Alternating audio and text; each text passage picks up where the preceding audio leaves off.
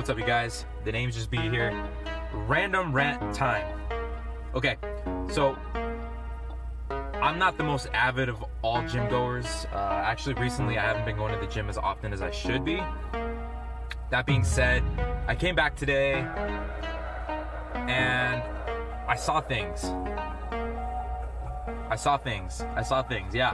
Um, to put it simply, there are certain people at the gym of the more experienced, older quality and male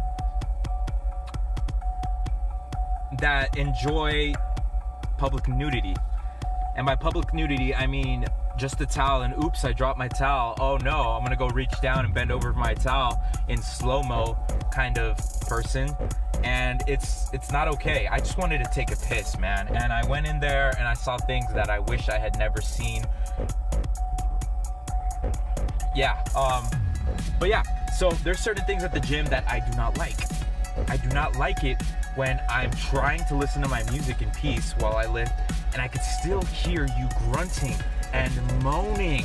And dude it's not that serious. Like okay if you're hitting a pr then maybe a little grunt here a little like yeah yeah okay that that's fine you know that makes sense.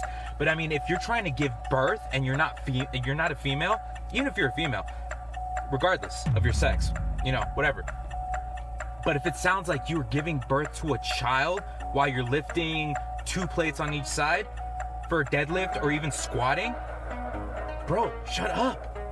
Shut up. There's people trying to get their lift in, and we don't need to hear you. Do, we don't need to hear you saying that. Um, another thing, when you're, you know, minding your own business, and the gym isn't even that full, usually on the weekends because everyone's out partying and doing their thing, right?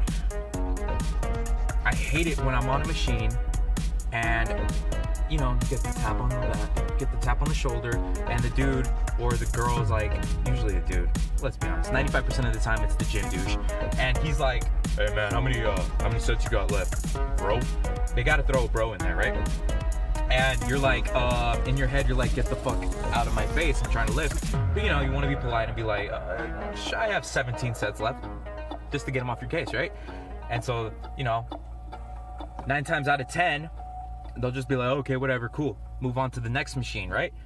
But then that one out of 10, they'll just stand there, waiting, patiently, stalkingly, just looking over your shoulder, you know, waiting for you to finish those 17 sets. And they'll count it. They'll be like, all right, he did one. All right, cool. He's resting. Cool. Two. All right. All the way to 17, right? And then once you're done, he's going to be like, hey, man, you done? And you'll be like, all right, fuck it, all right, I did say 17. All right, cool, cool, cool, whatever. Here, take it. I hate that so much. There's a trillion under, uh, other machines for that reason. Just go and use those other machines, bro. We need a beat. Yeah, I added a bro. Bro. B R O. Bro with a V sometimes, right? But yeah, I just thought I should say that because there's a couple things that just piss me off. Another thing, when you're using chalk and you're not doing heavy lifting, I went to go grab a, a couple of 30 uh, pound dumbbells so I could do some curls, right? And like, it's all chalked up. And I'm like, okay, why would you need chalk for 30s? I understand that some of you have those pretty fingers and you don't want to mess up your. Huh. Oh, anyway, mess up your like perfect hands, your, your little princess hands, right? But the rest of us, we don't need that chalk. If anything, I feel like I inhaled 95% of that, and that's not cool. Uh, but yeah, other than that, you know, the gym is a wonderful place, and we all need to go there every once in a while. And yeah, that's the end of my rant. Um, I just felt like I needed to get that off my shoulder because I'm scarred as of today.